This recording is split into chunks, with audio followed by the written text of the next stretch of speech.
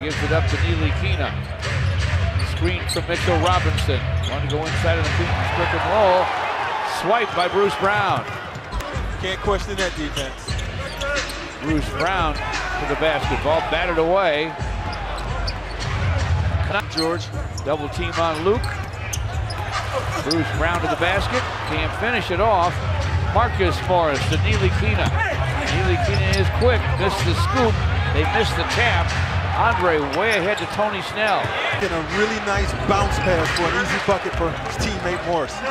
Neely Keena from outside. Ties this.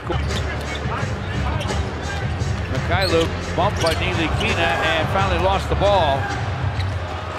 Fortunes by seven. He is so comfortable with that offhand going to the basket, Luke Kennard. Neely, final 10 seconds of the first. Neely Keena, shot clock at three, quarter clock at two. Neely Keena with the drive and the finish. Left-handed it up and in. Third Steve try to give it back to Christian. Ball squirts away to Knox. Now Neely Keena to the basket. Langston Galloway to forecourt. Bruce Brown speeds to the rim.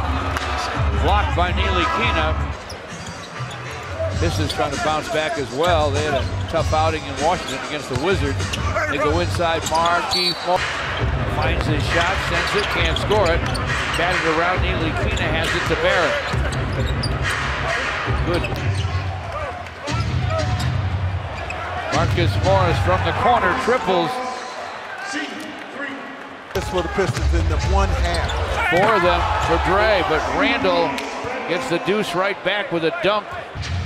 Julius Randle passes up the shot, went inside of Taj Gibson.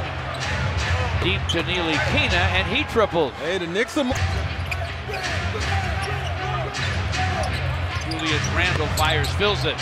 What did New York need that? Senior Ben Levitz know that he had gotten into nursing school. He's been a four-year player for the Lakers, and obviously that was a big moment seeing the back misfires, rebound Julius Randle, and head to Marcus Morris. Randle's 255 pounds sort of prevailed in that matchup. 18 to go in the game. Pistons 113, Knicks 95. Morris matchup.